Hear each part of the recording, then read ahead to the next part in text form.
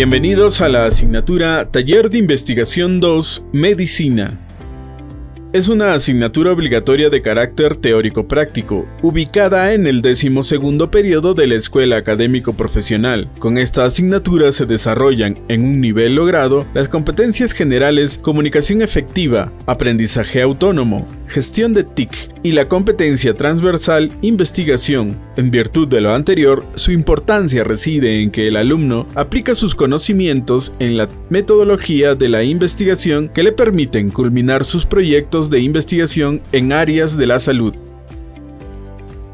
Los contenidos que la asignatura desarrolla son los siguientes. Desarrollo del proyecto de investigación, elaboración y sustentación del informe de investigación, quiere decir, elaboración del marco teórico conceptual, recolección, procesamiento y análisis de los datos, elaboración del informe final, el proceso de sustentación de la tesis. Al término de la asignatura, el estudiante será capaz de ejecutar el plan de investigación en áreas de salud, considerando los procedimientos adecuados para su concreción, mostrando honestidad y veracidad en el manejo de la información, elaborando y sustentando el informe de investigación, considerando las pautas de investigación científica y realizando una defensa oral con seguridad y mesura.